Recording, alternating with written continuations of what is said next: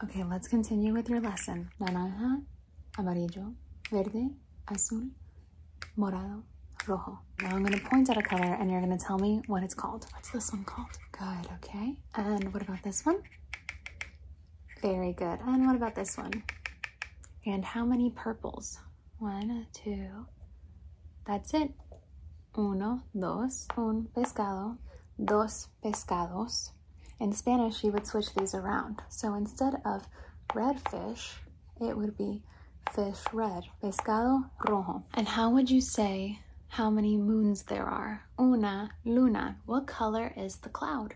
Azul. Very good. And what color is the moon? Rosada.